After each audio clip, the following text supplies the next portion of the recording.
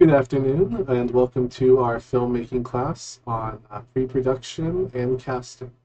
Uh, my name is Seth Limbaugh, and I'm with the Rutherford County Library System, uh, and we'll go ahead and uh, get started. Uh, I've got a little bit of background um, in this. Uh, I have a degree in filmmaking production. so yeah, we'll go ahead and get started. So we're kind of going to go down the checklist of what pre-production is.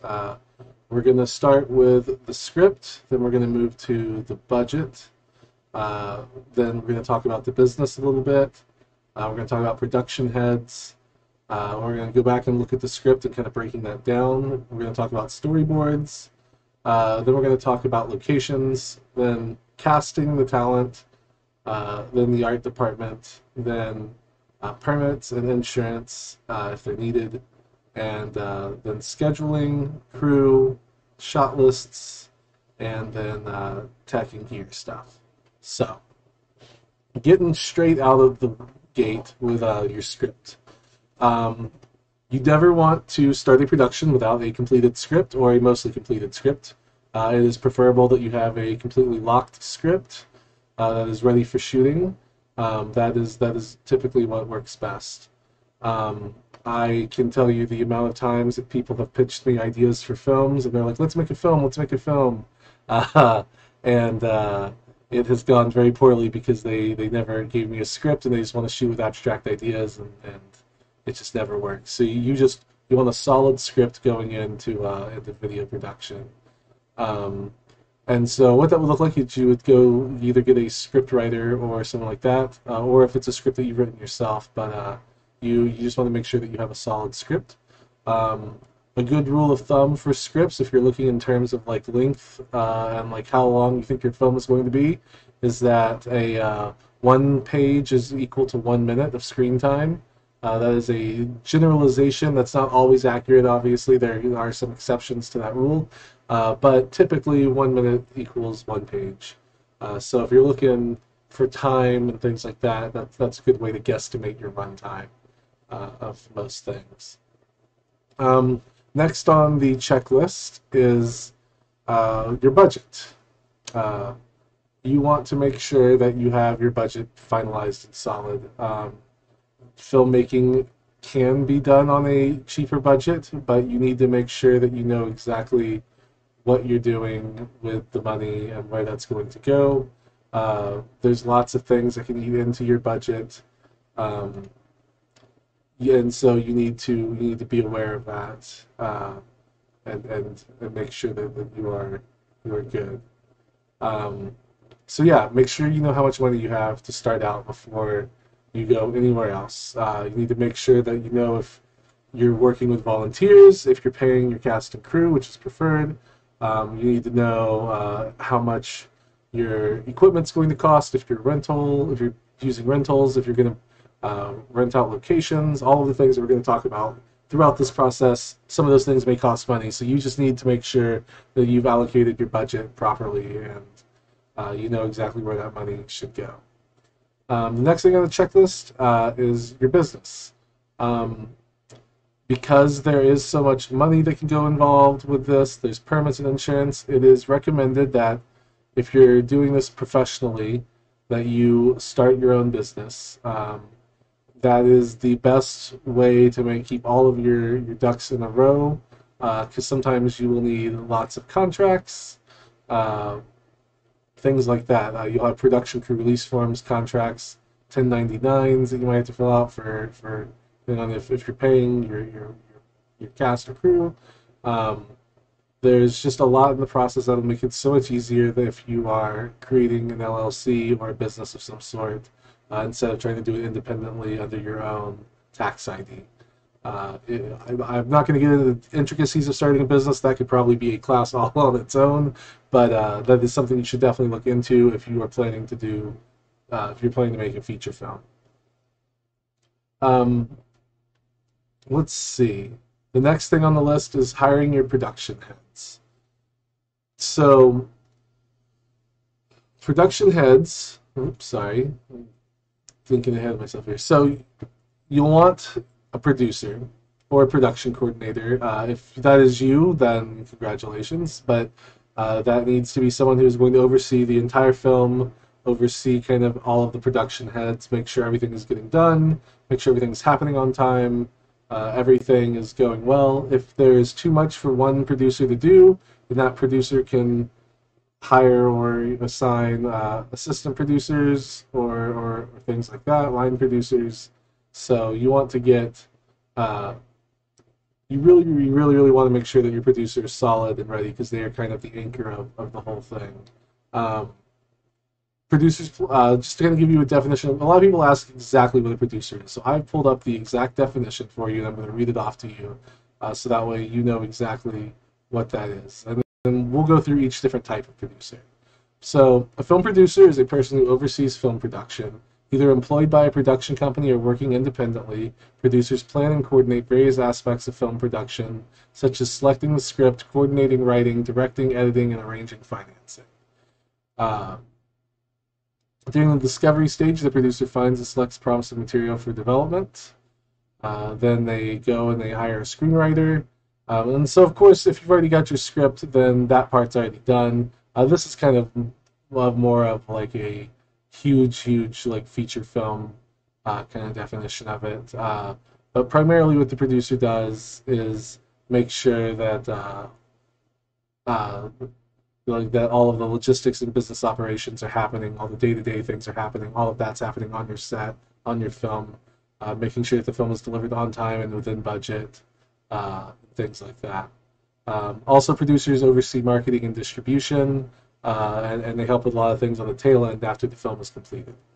Um, and so there's that. So now, there's different types of producers, and I was actually fairly new to these term this terminology as well recently because I don't work a lot in, in, in, that side of things. So I'm just going to kind of give you all the different types of producers and what, what, what their roles are. So there's the executive producer. Uh, the executive producer oversees all of the other producers working on the same project.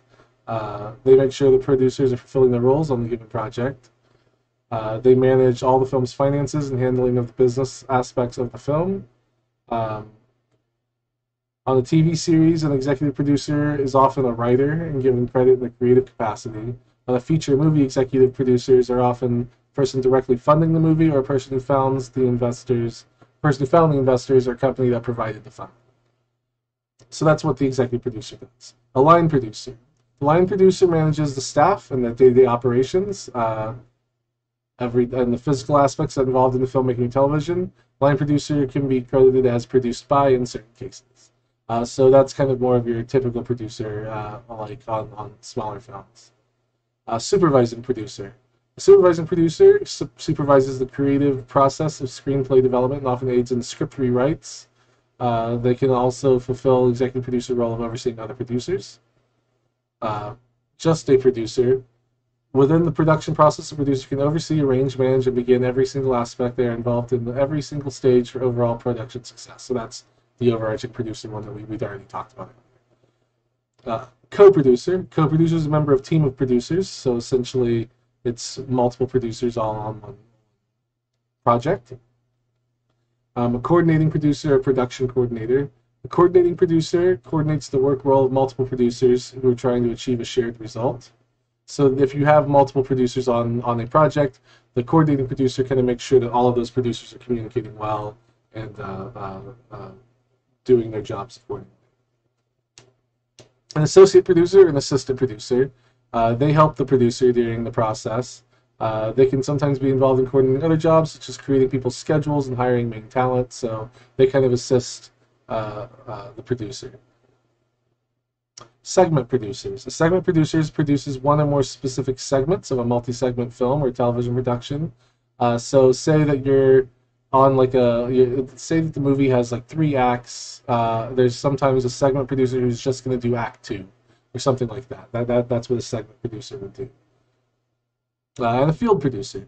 A field producer helps the producer by overseeing all production that takes place outside the studio in specific locations for the film. So, say you've got you're you're on your set, you've got a ton of of scene shot, but you need to go out into this forest in another state uh, to to film this little bit. Uh, well, a field producer would be the producer that would go out and with the cast and crew and work out on location, and instead of while the other producers all stay in the studio. Um, so that is kind of uh, the definition of a producer and all the different types of producers. Um, after you get your producer, you want to get your director. Uh, the director is the person who uh, directs the cast and crew. Uh, they are the creative control process of majority of the film. Uh, they they give the direction of where of how the actors act, how the, the the feel of the film, the pacing, all of those important artistic details uh, of the film. Um, and then with the director, you'll also want to get a cinematographer, and they handle the artistic camera side of things. So they handle the framing of the camera, how this film is going to look in terms of, of that, and they kind of co-coordinate with the director on that vision. Uh, but the cinematographer kind of has final say on like, okay, well the framing looks like this. We want our lights to look like this. Uh, how, how, we want the feel and the mood to look, uh, lighting wise, and, and uh, all of that. So they, they handle just the look and the the camera aspect of uh, of everything. Um, and so those are kind of the two main, or the, the three main things that you need. You want a producer, director, and cinematographer. Those uh, up at the top. So so you want you want to have those taken care of. Um, so now the next part of the process is you want to break down your script. Um, essentially what breaking down the script is is you take the script and then you turn everything into a list of props scenes costumes locations it's just a series of lists of everything that you need for each thing you go scene by scene uh, and you write a report on what you need so say that like the scene one is a man digging a grave in uh, a graveyard uh, so what you'll need is a shovel and then you put that on the prop list uh, you'll need the location is you'll need a graveyard, so you put that on the locations list. Uh, costumes is you'll you'll need an outfit. Well, what is that person wearing while they're they're digging the grave? So you come up with that creative idea, and then you, you put that on the list, um, and you and you see where where that goes. Uh, and then you uh, also make sure that the scenes are all blocked out and labeled out. Is this scene one? Is this scene two? Uh, uh, things like that. Um, you just want to make sure that everything is, is completely completely turned into basically list form. It's, it's all turned into list forms. Um, the next thing is storyboarding. Um, storyboarding. Whoops, hold on. Okay. Uh, storyboarding is basically you've got your script in front of you, uh, and so now you want to take that script from what looks like it's just all words on the page and it's uh, there's there's maybe some some direction visualized out in those words, but but you you've got nothing to see it. So you want to get a storyboard artist, or or the director does it, or the cinematographer works with them. Uh, but uh, uh, but but yeah, so you want the storyboard artist and the cinematographer and the director will all work together and kind of create uh, what they want it to look like. So if the cinematographer has this idea of okay, well, I want in this scene it to be a close up of this person's face, and they're looking off through the distance. So the storyboard artist would sketch out kind of what, uh, like a, a comic black and white, or it doesn't have to be black and white, some of them are in color, uh, but they'll sketch out kind of exactly how that framing would look, uh, an idea of it, and they'll do that and go down the list and do that for each shot in each scene, uh, and just kind of tell the entire story in, in a storyboard format so that way it's visualized out uh, and they can use that later on in production. Um, the next part is location scouting. Uh, so, location scouting is a process. uh, location scouting is hard. Uh, you have to make sure that it is okay to film anywhere that you do not own the location of. Uh, they will need to sign a release form. Uh, if you are shooting out in the city and uh, if you're shooting on like in public property, you need to check with your local laws to see what is required to see if you need to get permits to shoot public or if it's just okay to shoot in public. Some some locations are okay if you're in a public park or something like that. It's okay just to film out there. Other uh, counties and states uh, have and cities have different regulations to where you have to go to town hall and get a permit and and release, and sometimes you have to pay to film and things like that. Um, you need to get all of this done because the last thing you want is uh, someone showing up in the middle of your shoot day telling you you need to leave because you didn't have the proper permits or the proper permission. Um, so that being said, location scouting is hard because you want to find the perfect places. You want to go through the entire script, look at all of the locations that you need, and then start to piece it together. And the hardest part is making it consistent because you can have two really cool locations, but like they they don't exist side by side. And you need to make sure that you can visualize in your head. Well, what if they need to exist side by side in this film world? Will it look weird if the character is walking from point A to point B and the location changes? Uh, will that transition look smooth? Do you need to do something with that transition? Uh, there's a lot to think about uh, uh while you are doing that. Um, and again, you need to make sure that uh, the budget is like that, that all of your locations are affordable within your budget, and that like you've got the proper uh, permits for it. Uh, so that's what you want to do. Um, next is casting. Casting is the hardest and biggest part of filmmaking, in my opinion. Um, there's a lot of free casting websites you can go to. Um, let's see. I'm gonna see if I can find some of them real quick for you. Uh, Backstage is one.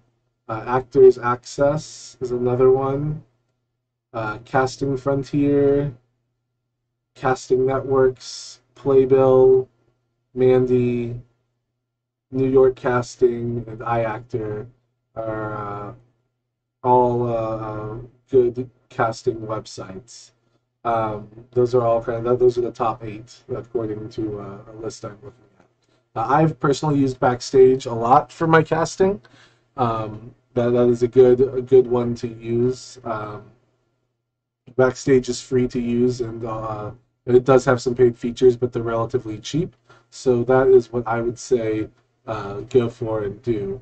Um, but yeah, so casting your film this is this is important. The director will get together. While the director and the producer primarily do this. Cinematographer can be on, on there as well, um, but uh, but basically you want to call in. You want to first you want to get a casting call out. So you send out a casting call. You you. Oh. Whoop, sorry. All right, you out a casting call uh, you, you, basically put in every character that you have uh, position available for. Uh, you want to put an age range of the character uh, and a description of the character. Uh, and then you send that out. You'll get um, headshots and, and ask for headshots in a resume. You'll get a ton of headshots and resumes in return.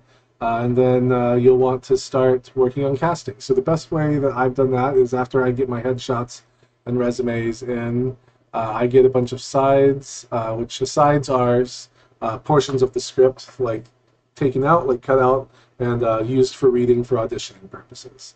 So you get some sides, and you send them out to your actors, or you invite your actors in, Uh, depending on how you want to do this. If you're doing it in-house or in video, these are two different things. If they're doing a video thing, you send it to them, have them read the sides and then send you the video back. If you're doing it in person, you can send sides in advance or you can wait till they arrive and have them do a cold read. I prefer to send sides in advance. I, I like to see if people prepare a little bit I kind of like to see how that how that looks. Sometimes I'll mix it up and get, have send out sides in advance but have a couple of cold read ones ready just so I can see how quick people are on their feet uh, as well uh, whenever I do casting work. Um, it's really just up to you uh, and, and, how how you want to do that. Um, but yeah, so then they will read, uh, and then you will want to bring them in, and then you'll want to read them next to other performers because it's not just about one person; it's about the cast as a whole. So you'll want to have your like once you start narrowing things down, you want to bring them in and have them read together until you finally have everyone reading the parts that you think that they might be set for reading together, and then you can kind of make a decision there. Um, sometimes you do cast A and cast B. Sometimes sometimes there's two groups and it's going to be a completely different feel for the characters. If like not better or worse, just different. Uh, if you cast this group of people as opposed to this group of people, um, and then you have to make uh, creative choices uh, on on what what suits your vision for your film, uh, and and go with that. So there's a lot of mix and matching with actors and, and casting and, and all of that. Um, so yeah, uh, casting is very important. So once you get everyone cast, uh, you also want to upfront make sure your actors know if they are volunteers, if they're getting paid.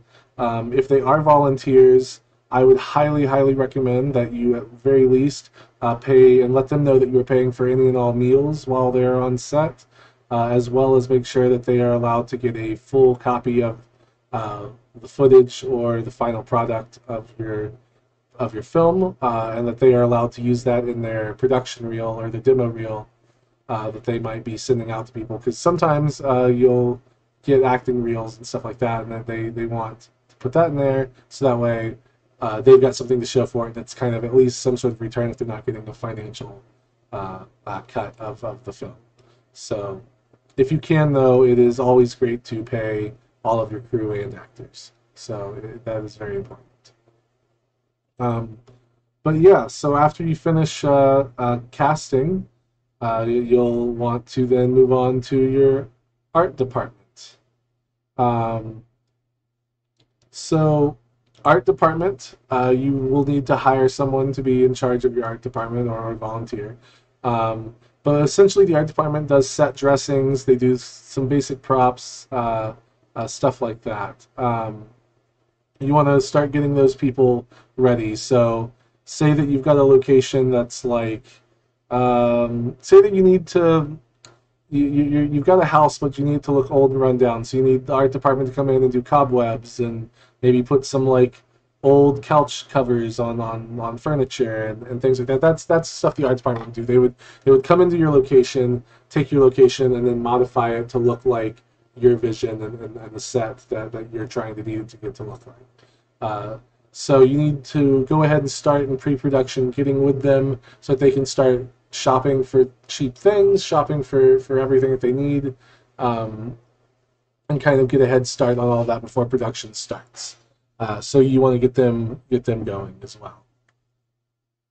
Uh, uh, at this point, uh, the best thing to do is also organize your file and documents. You probably have release forms from all of your actors. You've got permits for locations. You've maybe got insurance waivers. You've got uh, uh, all of that. Um, so start putting them together. Make sure you've got them all stored away. Uh, make sure that any information you need to have with you on set stays on set. Um, but the biggest things are your permits. Uh, permits for uh, like if you do not have a permit for your film location, you will be in a lot of trouble. You can get fined for it. There's a lot of issues. So just make sure you've got your permits. Make sure your permits are with you on set.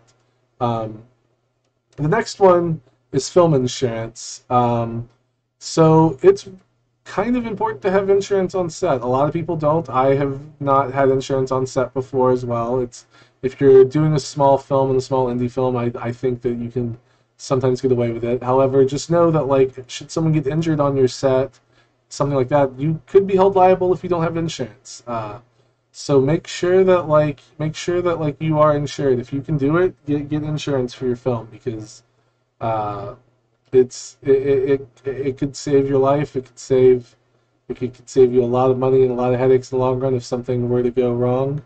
Uh, people say nine times out of ten that you can get away without it, but you don't want to be the tenth person. Uh, that is that is the biggest deal. So just try to get film insurance if uh, if at all possible. Um, the next thing that we have on the list is uh, you want to create your shoot schedule.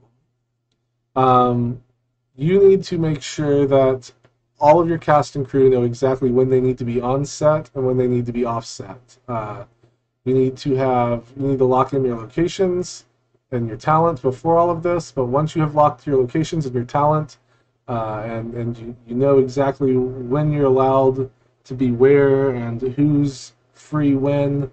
You've got to create a full schedule blocked out from scene A to scene whatever the ending scene is, the last one uh, that you have, like from scene one to, to scene to scene five or, or twenty or, or thirty or, or whatever. Uh, you want to make sure that uh, uh, all of that is scheduled out to where shot 1A, shot 2B, shot 3C, like all of those are on Monday, January 7th uh, at 3 p.m. or something like that. And like, and then on there you'll be like, who's to call? It's like called the, the three people in your cast might be called that day, but it won't be everybody. Uh, so make sure they have call times uh, and all of that listed on the schedule. Um, typically, what I do for call times is uh, crew call times are usually two to three hours before cast call times, unless there's heavy makeup involved. Uh, if there's heavy makeup, everyone's getting there early. But if not, because it usually takes crew longer to set up than it does for the cast. Um, so I usually get crew there about two to three hours before I get cast there. Um, and that's just my my way of doing it. Uh, everyone has their own way of doing it, so feel free uh, to, to come up with your own uh, methods there for that. Um, but yeah, so you want to, to make sure that that schedule is, is solid and locked uh, uh, before day one of shooting. Um, I also would recommend uh, giving yourself pickup shoot days uh, at the end of your schedule because there's going to be a strong chance something's going to go wrong on a shoot day and you're going to have to postpone something or set it aside. So give yourself some pickup days uh, afterwards and make sure everyone knows that like hey anyone needs to be available like all cast and crew need to be available on these pickup days in case we have to come back and pick up something and and, and reshoot uh, something. Uh, we won't know who or what yet but just everyone be available on these three days or so so that way you're you're locked in uh, for for that and you don't have to like try to scramble to figure out something last minute. Um, the next thing is you want to have a crew roster uh, for the production. Uh, you want to make sure that you've got basically it's a sheet that you'll have with you on set. Then it's who's got to be there and when, uh, and uh, kind of all of their information. It'll have their phone numbers, it'll have their email addresses, all contacts, uh, and you also want a cast roster as well. Um, but you want to have all these things with you so that way if someone's late or running late, you can just quickly pull up the crew or cast roster uh, realize like go down, find the person, and uh, uh, yeah, go down, find the find the find you need, call them, be like, hey, where are you? Oh, you're running a few minutes late. Cool. Or oh no, you're not coming. Okay, well, I'll never work with you again. See you later. uh, or whatever whatever the situation might be.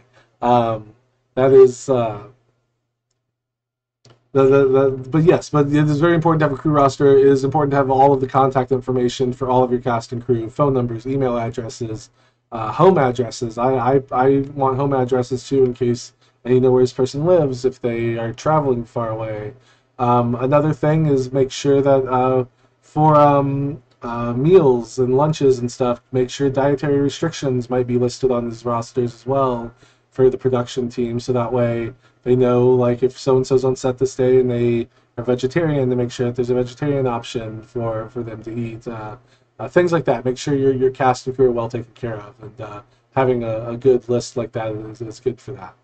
Um, the next thing is is your shot list. So now that you've blocked everything out, you want to do a shot list. Uh, and this is more for the cinematographer uh, to do, uh, and they'll work with uh, your director to do this. But it's essentially every single shot and what needs to happen. Are we because there's in one scene if there's two people talking to each other, you're going to want to have it to where there's someone the camera's shooting over this person's shoulder and the camera's shooting over this person's shoulder so you can cut back and forth and then you might want a wide shot so you can see both so wide shot so you can see both people uh, and so that's three different shots that's three shots for one scene uh, and that's kind of a, a, standard but then you'll want like say this person picks up something and like they've got a piece of paper and they need to read it. So you want to do an over the shoulder close up of, of what they're reading. And so you want to have that shot listed. Uh, you, you want every single little thing that like you could cut to listed. I always go above and beyond. I prefer to have a larger shot list than what I might end up cutting around, uh, just because uh, I like having options when I'm in the editing bay on, on what to cut. Uh, but but that is up to you completely on how, how you do that. Um, but having a shot list makes sure you don't miss anything, you don't leave anything out on shoot days, and also keeps you organized so that way everyone knows, okay, well, we're doing this shot next, this shot next. They, they, they can read it, they can be like, okay, we got to set up for this, people doing lights and audio know kind of where to start moving to uh, if they can read the shot list and know exactly what's coming up next. Um, and then uh, the last thing is uh, your tech and equipment rentals. Um, you need to make sure that you've got the gear for your your thing. You need to make sure that you've got a director of your director of photography or your cinematographer uh, uh, has what they need. Um, they need you need you'll need a gaffer and a grip, uh, someone who's running electrical and someone who's holding uh, uh, who's, who's doing lights. Uh, you need to make sure that you've got all of your equipment together. Um, there are rental companies all around. if you're local here, there's several good rental companies in Nashville um, that you can look up. Um, and yeah, you want to make sure you have all of your lighting equipment, your sound equipment, boom poles, uh, uh, your camera, your lenses, uh, all of that. And when you get those rented, make sure that you've got your rental agreements, make sure that you know exactly when you've got them for, when they're scheduled for, all of that.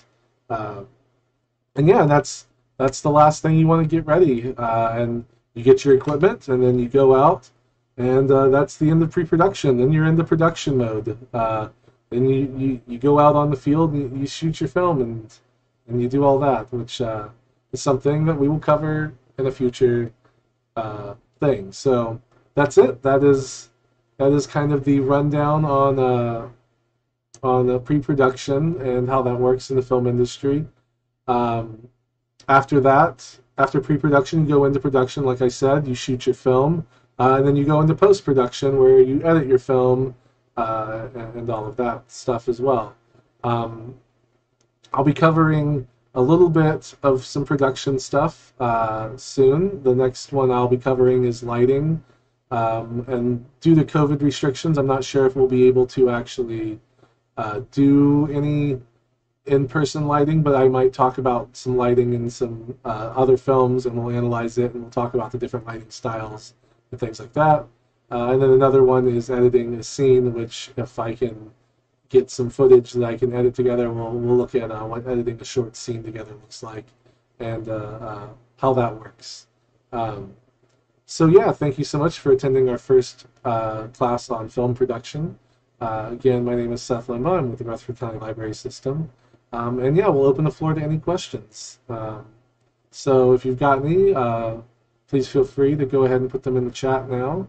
And uh, yeah.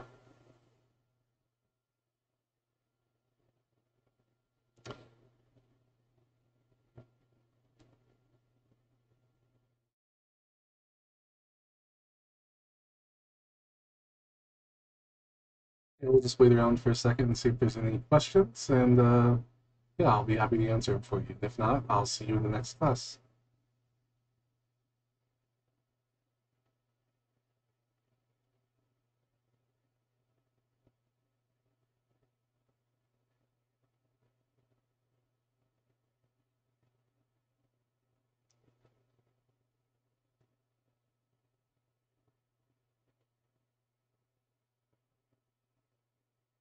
All right, well, it looks like we're not getting any questions, so we'll go ahead and wrap up a little early today.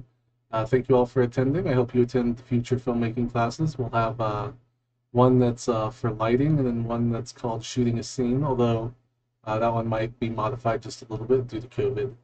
Uh, so we'll, we'll see how we're going to do that one. But uh, yeah, we hope to see you at the future classes. Thank you.